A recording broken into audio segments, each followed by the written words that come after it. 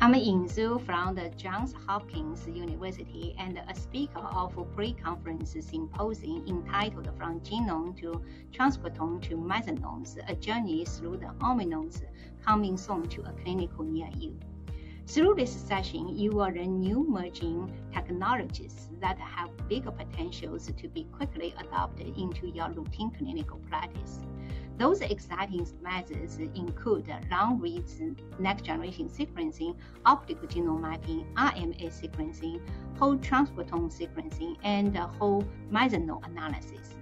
Therefore, we are inviting you to register to join us at the upcoming NSGC's annual conference on September 17 to 21st.